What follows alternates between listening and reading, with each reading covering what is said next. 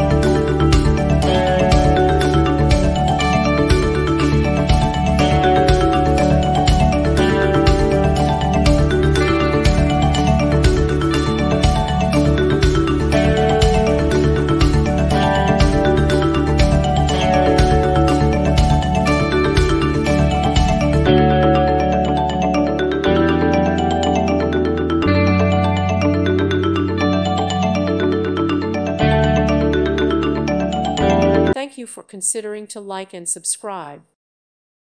Thank you for watching, and God bless.